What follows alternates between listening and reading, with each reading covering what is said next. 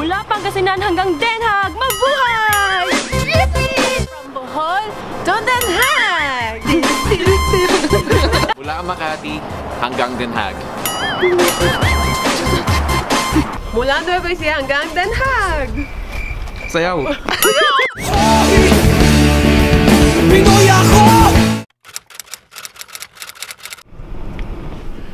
Good morning guys, Dollich here, new day, new vlog. Well, it is a Sunday and napakalamig ngayong araw. Kung gusto niyo malaman gaano kalamig ngayon, it's negative 1. Punta ako ngayon sa Holland. Saan sa Holland? Sasabihin ko mamaya. May susundin lang ako mga kaibigan and together, pupunta kami sa isang place, kakain, mag enjoy Malaman niyo mamaya kung saan yun. Okay, let's go!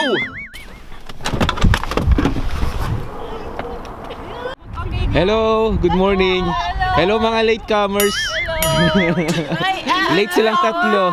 Sabi naka-late na nagising late nga. I'm not late. I was Kaya sa'yo ah. Alam mo, natulog ka eh. Kung di ka pa na tinawagan, di ka magigising. Tinawag, tinawagan niya ako ng mga 7.45. Doon pa lang ako nagising. Hi! Hi!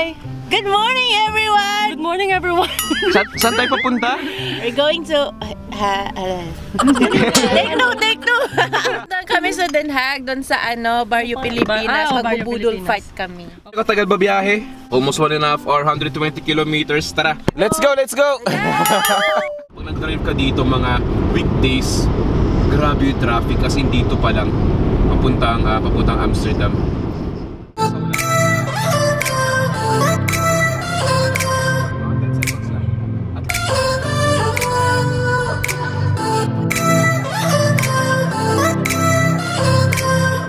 So ayun na guys, after one and a half hour, andito na kami sa The Hague. Um, papunta na kami sa Filipino restaurant. Meron pa kaming one hour halos before siya mag-open. So gagawin namin, maglilipot-lipot muna kami dito bago eventually pumunta ron at kumain.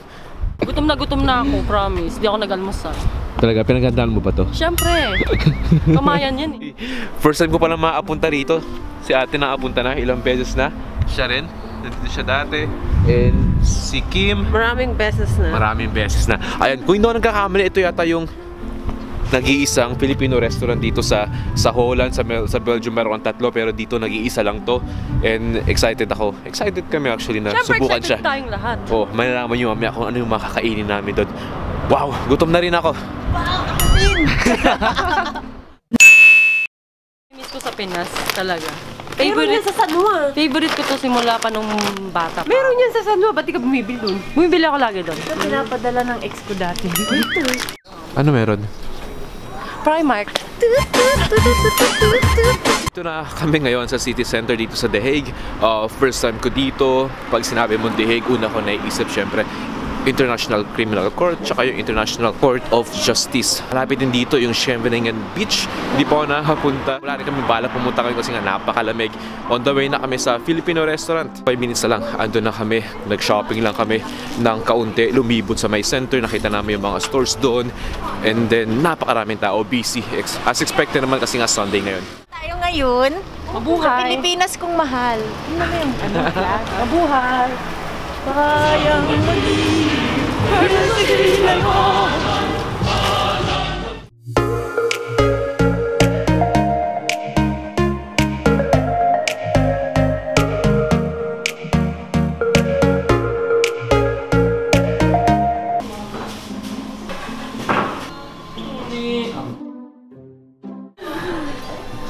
So guys, eto na. Eto na yung order namin. Meron kaming boodle fight. And bukod doon sa boodle fight na yun, meron din kaming kare-kare at saka meron kaming binagoongan.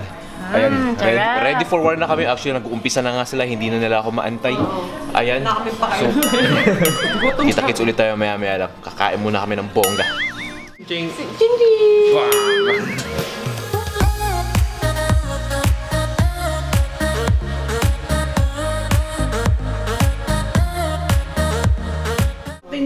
Pag, pag maluwag, pag hindi maluwag yung Kuya, kuya, ano, para ka lang ganisa. Itaas mo. Before and after mo yan. Isang mo na lang ulit yung jacket. Natapos na namin, actually hindi pa kami tapos, nabubudol fight pa rin kami ngayon. Isang oras na kami kumakain dito, ang dami pa rin tira. Tingnan nyo sila, nagsipaghintuan na sila, pero nagpapahinga lang yung mga yan, maya maya na konti, babanat ulit sila. Ito si, si Ate Roda, hindi pa hanggang ngayon, busy pa rin siya. Kamusta naman? Ano masasabi mo sa mga kinain mo? Ang sarap. Ang sharp-sharp talaga. That's all, thank you. Pero ano, talaga masarap siya, especially yung kare-kare. Recommend mo ba siya sa ibang mga kaibigan mo? Oo, i-recommend ko. Basta ganito din yung i-order. Second time niyo na Second dito. time na namin dito, kaya mas, Oo. kasi mas-sharp talaga siya. Sa tingin nyo, yung mga natitirang pagkain ngayon, mauubos nyo pa ba sila? Dadalhin namin to. Iuwi lahat, pati yung... Ring house. Kausapin naman natin yung sponsor natin ngayon. Si Thank you pala, Kim. Thank you. Gusto lang namin magpasalamat, magpasalamat kay Kim sa pag-imbita, um, sa panlilibre, di ba? Sa magandang loob, mapagbigay, mapagbigay na tao. Wala kang legend lang talaga. Mabuti ang kalooban niya, napakabait na kaibigan. Ayun. Wala kang legend lang kapag ako pinagbayad ko dito.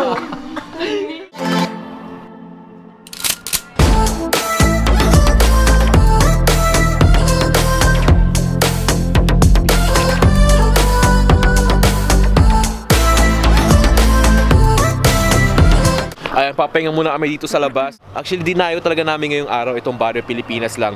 Um, one and a half hour na biyahe, tapos ma- napaaga pa kami.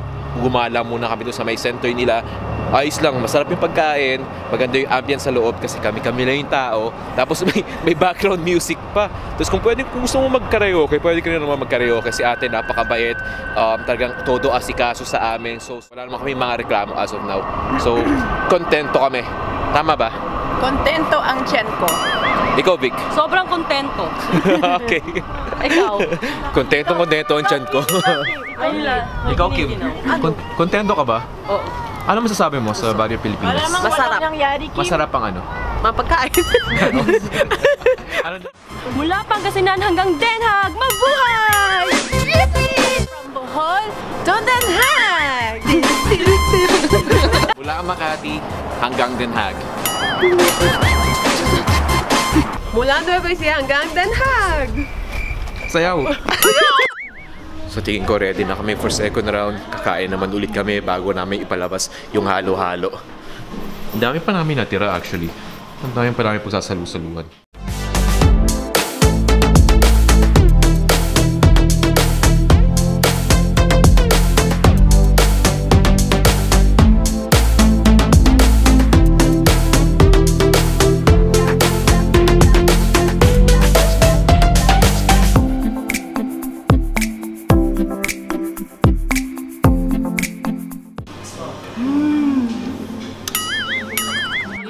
Meron pa kami isang buong pinya na nakuha. Makainin pa namin yan.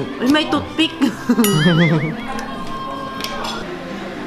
Tapos na kami kumain dito sa Barrio Pilipinas. Pauwi na kami, pabalik kami ng Belgium. Naka-ready na actually yung mga takeout namin.